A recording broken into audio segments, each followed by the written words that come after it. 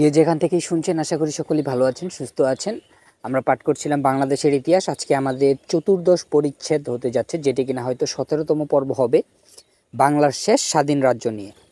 আমরা কথা না বাড়িয়ে পাঠ শুরু করি। এক, দেববংশ। লক্ষণ সেনের রাজত্বের শেষ ভাগে মেঘনার পূর্ব তীরে মধুমথন দেব একটি স্বাধীন রাজ্যের প্রতিষ্ঠা করেন। মধুমথন দেবের পিতা পুরুষোত্তম দেবান্নয় গ্রামণী, অর্থাৎ দেববংশের প্রধান বলিয়া আখ্যাত হইয়াছেন। কিন্তু এই বংশের কোনো তাম্রশাসনেই তাহার সম্বন্ধে রাজপদবী জ্ঞাপক কোনো উপাধি ব্যবহৃত হয় নাই। রাজা মধুমথন দেব ও তাহার পুত্র বাসুদেব সম্বন্ধে কিছুই জানা যায় না। কিন্তু বাসুদেবের পুত্র দামোদর দেবের তিনখানি তাম্রশাসন আবিষ্কৃত হইয়াছে। ইয়া হইতে জানা যায় যে তিনি বারোশো একত্রিশ অব্দে সিংহাসনে আরোহণ করেন এবং অন্তত বিয়াল্লিশশো তেতাল্লিশ অব্দ পর্যন্ত রাজত্ব করেন। এই তাম্রশাসনগুলি হইতে অনুমিত হয় যে দামোদর দেবের রাজ্য বর্তমান ত্রিপুরা নোয়াখালী ও চট্টগ্রাম জেলায় সীমাবদ্ধ ছিল। সকল ভূপাল চক্রবর্তী ও অরিরাজ চানুর মাধব এই উপাধিদ্বয় হইতে অনুমিত হয় দামোদর পরাক্রান্ত রাজা ছিলেন। সম্ভবত সেন বংশীয় রাজা বিশ্বরূপ সেনের মৃত্যুর পর তিনি পৈতৃক রাজ্যের সীমা বিস্তার করিতে সমর্থ হইয়াছিলেন। কারণ তাহার পুত্র দশরথ দেব পাকামুরা গ্রামে প্রাপ্ত তাম্রশাসনে উক্ত হইয়াছে যে, তাহার পিতা রাজার দামোদর দেব দেশের নষ্টশ্রী পুনরুদ্ধার করিয়া গৌড় দেশে মহোৎসব সম্পন্ন করিয়াছেন। দামোদর দেবের নিজের লিপিতে এরূপ কোনো উল্লেখ না থাকায় মনে হয় যে তিনি তাহার রাজত্বের শেষ ভাগে গৌড়ে প্রাধান্য স্থাপন করিয়াছিলেন। দামোদর দেবের মৃত্যুর পর তাহার পুত্র দশরথ দেব রাজা হন। ত্রিপুরা জেলার পাকামুরা ছাড়া ঢাকা জেলার আদাবরী গ্রামে তাহার আরেকখানি তাম্রশাসন পাওয়া গিয়াছে। এই তাম্রশাসনখানি অতিশয় জীর্ণ এবং ইহার সম্পূর্ণ পাঠোদ্ধার সম্ভব হয় নাই। যেটুকু গিয়াছে তাহা হইতে জানা যায় যে পরমেশ্বর পরম ভট্টারক মহারাজা ধীরাজ অরিরাজ অরিরাজ দন ধনু, জমাধব। অরিরাজ ধনু, জমাধব দশরথ দেব বিক্রমপুর রাজধানী হইতে এই তাম্রশাসন দান করিয়াছেন। কেশব সেন ও বিশ্বরূপ সেনের অনুকরণে তিনি অশ্বপতি, গজপতি, নরপতি, রাজত্রয়া, রাজত্রয়াধিপতি উপাধি ধারণ করিয়াছিলেন এবং সেন রাজগণের সেনকুল, কমল বিকাশ ভাস্কর পদবীতে পদবীর পরিবর্তে তাহার শাসনে দেবান্বয় কমল বিকাশ ভাস্কর ব্যবহৃত হইয়াছে। এই শাসনখানিতে উক্ত হইয়াছে যে, তিনি নারায়ণের কৃপায় গৌড় রাজ্য লাভ করিয়াছিলেন। ইহাতে তাহার নামের পূর্বে সম্রাট সূচক যে, সম্রাট সূচক যে সকল পদবী আছে পাকামোরা শাসনে তাহা নাই। সুতরাং অনুমান করা যাইতে পারে যে দামোদর দেব গৌড়ে প্রাধান্য স্থাপন করেন। ইহার ফলে দশরথ দেব রাজসিংহাসনে আরোহণ করিবার কিছুকাল পরে গৌড়ের আধিপত্য লাভ করেন এবং সম্রাট সূচক পদবীগুলি তাহার নামের পূর্বে ব্যবহৃত হয়। পূর্বেই উক্ত হইয়াছে যে লক্ষণ সেনের বংশধরগণ অন্তত এক হাজার দুইশো পঁয়তাল্লিশ অথবা বারোশো ষাট অব্দ পর্যন্ত রাজত্ব করেন। সম্ভবত ইহার পর কোনো কোনো সময়ে দশরথ দেব গৌড় রাজ্য বা ইহার কিয়দংশ অধিকার করিয়া থাকিবেন। মুসলমান ঐতিহাসিকগণ, ঐতিহাসিকগণের মতে গৌড় এই সময়ে তুর্কি রাজগণের অধীনে ছিল। তবে তুর্কি নায়কগণ গৃহবিবাদের সুযোগে দশরথ দেব গৌড়ের কিয়দংশ অধিকার করিয়া কিছুদিন রাজত্ব করিয়াছিলেন, ইহা একেবারে অবিশ্বাস অবিশ্বাস্য বলা যায় না। বাংলাদেশে তুর্কি প্রভুত্ব দৃঢ়ভাবে প্রতিষ্ঠিত হইতে বহুদিন লাগিয়াছিল। এই সময়ের মধ্যে যে হিন্দু রাজগণ লুপ্ত রাজ্য উদ্ধার করিতে পুনঃ পুনঃ চেষ্টা করিতেছিলেন ও আংশিকভাবে কৃতকার্য হইয়াছিলেন, তাহাতে সন্দেহ করিবার কারণ নাই।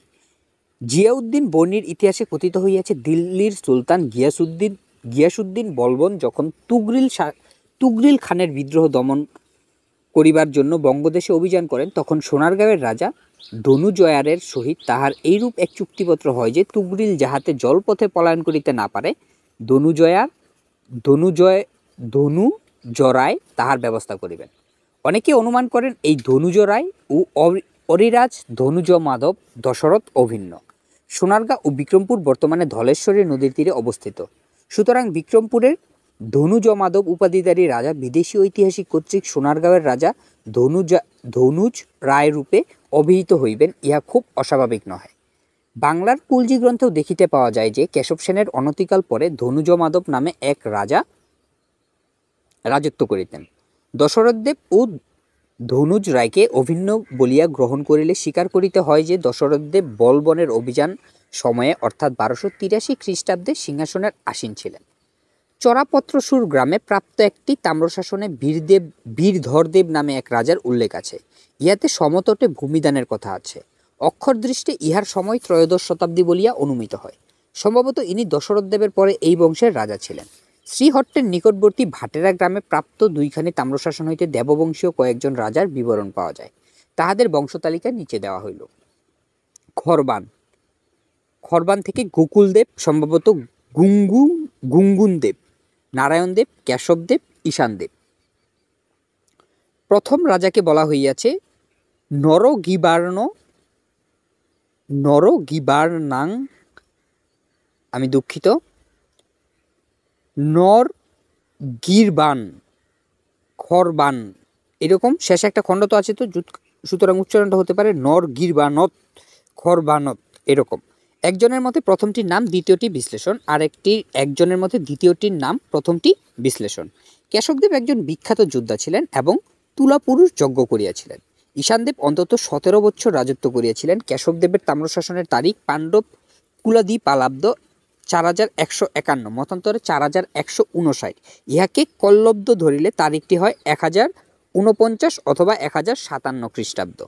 কাহারও মতে তাম্রশাসন দুইটির অক্ষর দৃষ্টে অনুমান হয় যে উক্ত রাজগণ ত্রয়োদশ অথবা চতুর্দশ শতাব্দীতে রাজত্ব করেন। কিন্তু কেহ কেহ অক্ষরগুলি একাদশ শতাব্দীর বলিয়াই মনে করেন। দেব উপাধি হইতে অনুমিত হয় যে এই রাজগণও দেববংশীয় ছিলেন। কিন্তু ইহাদের সহিত পূর্বোক্ত দেববংশীয় রাজগণের কোনো সম্বন্ধ ছিল কিনা তাহা বলা যায় না। শ্রীহট্টের উকিল নিযুক্ত কমলাকান্ত গুপ্ত চৌধুরীর নিকট হট্টনাথের পাঁচালী নামক একখানি পুঁথি আছে। ইহাতে এই রাজবংশের অনেক বিবরণ পাওয়া যায়। যে স্থানে তাম্রশাসন দুইটি পাওয়া গিয়েছে, সেখানে একটি জনপ্রবাদ প্রচলিত আছে যে তথাকার রাজা গৌড় গোবিন্দ শাহজালাল কর্তৃক পরাজিত হন। এই ঘটনার তারিখ বারোশো সাতান্ন অব্দ। কেশবদেবের এক উপাধি ছিল রিপুরাজ গুপি রিপুরাজ গুপি গোবিন্দ। কেহ কেউ মনে করেন এই রাজাই জনপ্রবাদের গৌর গোবিন্দ। দুই, পট্টিকেরা রাজ্য। বর্তমান কুমিল্লা জেলায় পট্টিকেরা রাজ্য অবস্থিত ছিল। বিগত মহাযুদ্ধের সময় উনিশশো তেতাল্লিশ অব্দ সামরিক প্রয়োজনে মাটি খনন করার ফলে কুমিল্লার অনধি দূরবর্তী লালমাই বা ময়নামতি পাহাড়ে বহু প্রাচীন স্তূপ, মন্দির প্রভৃতির ধ্বংসাবশেষ আবিষ্কৃত হইয়াছে। প্রায় দশ মাইল বেপিয়া সমুদয় প্রাচীন চিহ্ন এখনও বিদ্যমান। এই স্থানে যে প্রাচীন পট্টিকেরা রাজ্যের রাজধানী অথবা অন্যতম প্রধান কেন্দ্র ছিল, তাহা এক প্রকার নিঃসংশয়ে বলা যাইতে পারে। পূর্বে যে সমুদ্রের রাজধানী ময়নামতি পাহাড়ের নিকট ক্ষীরুদা নদী বেষ্টিত দেবপর্বতে অবস্থিত ছিল সেইগুলিও পট্টিকেরা রাজ্যের অন্তর্গত বলিয়া অনুমান করা যাইতে পারে। এক হাজার পনেরো অব্দে লিখিত একখানি পুঁথিতে ষোড়শভুজা এক দেবীর চিত্রের নিম্নলিখিত আছে পট্টিকেরে, চুন্দা বর ভবনে চুন্দা। ইহা হইতে প্রমাণিত হয় যে রাজধানী পট্টিকেরে প্রতিষ্ঠিত বৌদ্ধ চুন্দা দেবীর মূর্তি একাদশ শতাব্দীর পূর্বেই প্রসিদ্ধি লাভ করিয়াছিল। পূর্বোক্ত ধ্বংসাবশেষ হইতে অনুমিত হয় যে ইহার তিন চারিশত বৎসর পূর্বে পট্টিকেরা একটি সমৃদ্ধ জনপদ ছিল। ব্রহ্মদেশের ঐতিহাসিক আখ্যানে পট্টিকেরা রাজ্যের বহু উল্লেখ দেখিতে পাওয়া যায়। ব্রহ্মের প্রসিদ্ধ রাজা অনিরুদ্ধ। এক হাজার চুয়াল্লিশ থেকে এক হাজার সাতাত্তর অব্দ পট্টিকেরা পর্যন্ত স্বীয় রাজ্য বিস্তার করেন এবং এই সময় হইতেই দুই রাজ্যের মধ্যে ঘনিষ্ঠ সম্বন্ধ স্থাপিত হয়। ব্রহ্মরাজ কঞ্জিত ব্রহ্মরাজ কঞ্জিতের এক হাজার চুরাশি থেকে এগারোশো বারো কন্যার সহিত পট্টিকেরা রাজপুত্রের ব্যর্থ প্রেমের কাহিনী অব ব্রহ্মদেশের আখ্যানে সবিস্তারে বর্ণিত হইয়াছে এবং এই ঘটনা অবলম্বন করিয়া তথায় অনেক কবিতা ও নাটক রচিত হইয়াছে। এই সমুদয় নাটক এখনও ব্রহ্মদেশে অভিনীত হয়। ব্রহ্মরাজের ইচ্ছা থাকিলেও রাজনৈতিক কারণে তাহার কন্যার সহিত পট্টিকেরা রাজকুমারের বিবাহ অসম্ভব হইলে উক্ত রাজকুমার আত্মহত্যা করেন। কিন্তু এই রাজকন্যার গর্ভজাত পুত্র অলংশিথু মাতামহের মৃত্যুর পর ব্রহ্মদেশের রাজা হন এবং পট্টিকেরার রাজা পট্টিকেরার রাজার কন্যাকে বিবাহ করেন। অলংশিথুর মৃত্যুর পর তাহার পুত্র নরথু সিংহাসনে আরোহণ করিয়া স্বহস্তে তাহার বিমাতা পট্টিকেরা রাজকন্যাকে বধ করেন। কন্যার মৃত্যু সংবাদ শ্রবণ করিয়া পট্টিকেরার রাজা প্রতিশোধ লইতে সংকল্প করিলেন। তিনি আটজন বিশ্বস্ত সৈনিককে ব্রাহ্মণের ছদ্মবেশে ব্রহ্মদেশের রাজধানী পাগানে পাঠাইলেন।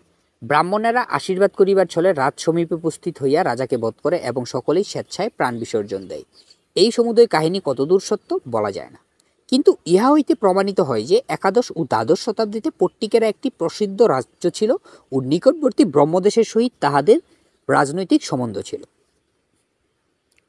ময়নামতি পাহাড়ে প্রাপ্ত একখানি তাম্রশাসনে রণবঙ্কমল্ল শ্রীহরি কালদেব নামক পট্টিকেরার এক রাজার নাম পাওয়া যায়। ইনি বারোশো চার অব্দে সিংহাসনে আরোহণ করিয়া অন্তত সতেরো বছর রাজত্ব করেন। এই তাম্রশাসন দ্বারা রাজমন্ত্রী শ্রীধরী এবং পট্টিকেরা নগরের এক বৌদ্ধবিহারে কিঞ্চিত ভূমিদান করেন। রাজমন্ত্রীর পিতার নাম হেদি এব, এবং তাম্রশাসনের লেখকের নাম মেদিনী এব। এই সমুদয় নাম ব্রহ্মদেশীয় নামের অনুরূপ এবং পট্টিকিরা রাজ্যের সহিত ব্রহ্মদেশের ঘনিষ্ঠ সম্বন্ধের পরিচায়ক। শ্রী হরিকালদেব প্রাচীন পট্টিকেরা রাজবংশীয় ছিলেন অথবা নিজেই একটি স্বাধীন রাজ্যের প্রতিষ্ঠা করিয়াছিলেন তাহা বলা যায় না। এই সময়ে যে দেববংশীয় ও অন্যান্য রাজগণ এই অঞ্চলে রাজত্ব করিতেন তাহা পূর্বেই বলা হইয়াছে। অসম্ভব নহে যে শ্রী হলিকাল দেবও দেববংশীয় ছিলেন। কিন্তু তাহার নামের অন্তঃস্থিত দেববংশ, বংশপদবী অথবা রাজকীয় সম্মানসূচক পদমাত্র তাহা নিশ্চিত বলা যায় না। তবে রণবঙ্কমল্ল, উপাধিধারী শ্রী হরিকাল দেবের পর যে পট্টিকেরা রাজ্য দেববংশীয় দামোদর দেবের রাজ্যভুক্ত হইয়াছিল, ইহাই সম্ভবপর বলিয়া মনে হয়। মোটের উপর একথা নিঃসংশয়ে বলা যায় যে ত্রয়োদশ শতাব্দীর শেষ দশকের আগে মুসলমানেরা পূর্ববঙ্গ জয় করিতে পারে নাই এবং সম্ভবত দক্ষিণবঙ্গের কোনো অঞ্চলও মুসলমানদের দ্বারা ত্রয়োদশ শতাব্দীতে বিজিত হয় নাই। মুসলমান ঐতিহাসিকগণের বিবরণও এই মত সমর্থন করে। বারোশো বিরাশি খ্রিস্টাব্দে দিল্লির সুলতান লক্ষণাবতীর শাসনকর্তাকে বঙ্গদেশ জয় সম্পূর্ণ করিতে আদেশ দেন। ইহার পরেও গিয়াসুদ্দিন ইওয়াত খিলজি, তাজউদ্দিন, অরসালন খান প্রভৃতি পূর্ব ও দক্ষিণবঙ্গ জয় করিতে করিতে পুনঃ পুনঃ অভিযান করিয়াছেন।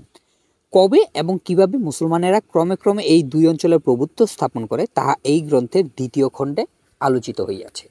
ইতিমধ্যে আমাদের শেষ হয়ে গেছে চতুর্দশ পরিচ্ছেদ। পঞ্চদশ পরিচ্ছেদ আছে রাজ্য শাসন পদ্ধতি, প্রাচীন যুগ, গুপ্ত সাম্রাজ্য ও অব্যবহিত পরযুগ, পরবর্তী যুগ, পাল সাম্রাজ্য, সেন রাজ্য ও অন্যান্য খণ্ডরাজ্য পাল যুগের সংস্কৃতি, সাহিত্য, ভাষা ও সাহিত্য এগুলো আমরা একটু পরবর্তীতে পড়ব। তাহলে আমরা আজকে এখানেই রাখছি। চতুর্দশ পরিচ্ছেদ ইতিমধ্যে শেষ হচ্ছে। আমাদের আগামী পঞ্চদশ পরিচ্ছেদ, যেটি কিনা আঠারোতম পর্ব হতে পারে, সেটি হবে আমাদের রাজ্য শাসন পদ্ধতি নিয়ে। আমাদের প্রাচীন যুগের রাজ্য শাসন, রাজ্য শাসনের পদ্ধতি কেমন ছিল সেই ব্যাপারগুলো নিয়ে। সবাই ভালো থাকবেন, সুস্থ থাকবেন। এবং যদি কোনো অডিও পাঠে আপনার কোনো মানে আপনার মনে ইচ্ছা জাগে বা কোনো একটা বিষয় নিয়ে কমেন্ট করতে ইচ্ছা জাগে যে আমার কোয়ালিটিগুলো কীরকম হচ্ছে, ভালো না তো আমিও জানি। তবে এই এই মানটা চলতেছে কি না বা এই এই মানটা দিয়ে চলা যায় কি না এরকম যদি হয় তাহলে আপনারা চাইলে আমাকে জানাতে পারেন। বা যদি আপনাদের মনে হয় যে না, এটা কোনোভাবেই চলে না, তাহলে হয়তো আমি আস্তে আস্তে পাটটা বন্ধ করে দিলেও দিতে পারি। যাই হোক, সেটা আমার মন মর্জির উপর নির্ভর করবে। সবাই ভালো থাকবেন, সুস্থ থাকবেন, সবার জন্য শুভকামনা ও সবার জন্য ভালোবাসা।